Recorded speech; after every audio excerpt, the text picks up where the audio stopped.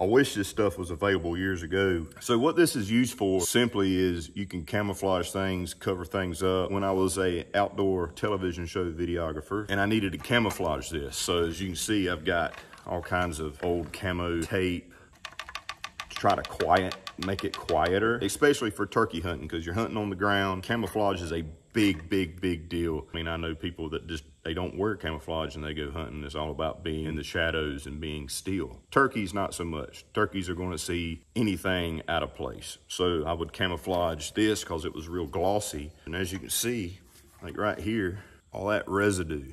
It's just not good. It's not good for your equipment. This stuff right here is a different story. This stuff sticks to itself. So there's no concern about residue, you know? It's soft, but you can take it right back off and there's no residue left over, just like it was before. And you can reuse this. Matter of fact, you can wash this and reuse it.